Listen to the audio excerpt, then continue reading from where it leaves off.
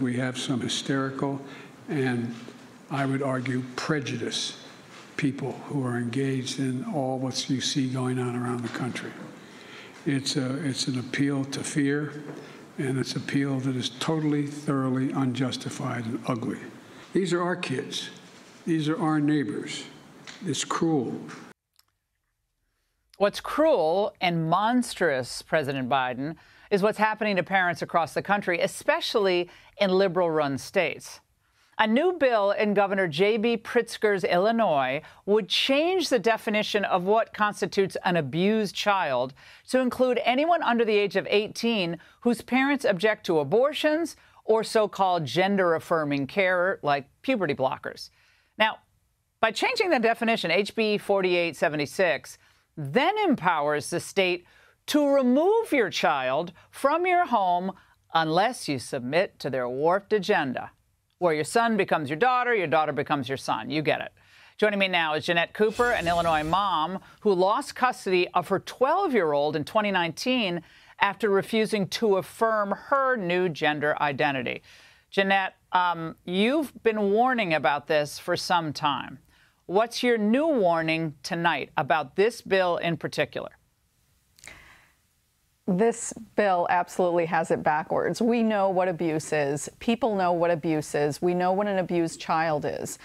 The standard and the statute says quite clearly that an abused child is someone whose parent or guardian has inflicted permanent damage to their bodily function. That's exactly what gender medicine does. It inflicts permanent damage, permanent harm on a child. Removing a child's breasts is permanent damage to their body. That is child abuse. Ironically, Jeannette, it's still considered abuse uh, in Illinois law to subject your child to female genital mutilation. Um, and that's a practice um, that some um, immigrants, you know, still you know, prefer for their daughters.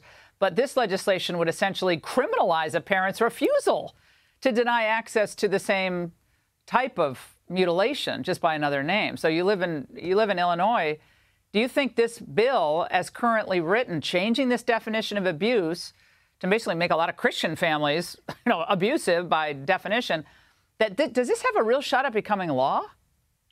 No, absolutely not. I mean, the, the citizens of Illinois are not going to stand for something like this. They they don't agree with the concept of, of gender identity. Absolutely not. I mean, Chicago is not the entire state. There's an entire state in Illinois, and they don't believe in such a concept of gender identity, and they certainly don't believe we should be abusing children with gender medicine.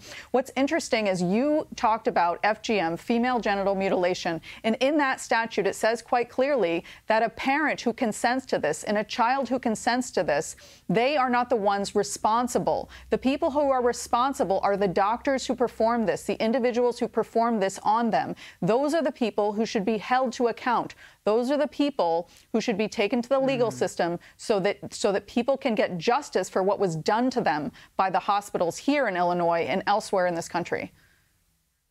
Yeah, the hospital should be sued, and the doctors should be uh, never be able to touch another human being again. Jeannette, um, what's the latest on your own situation? When was the last time uh, you were able to see your daughter?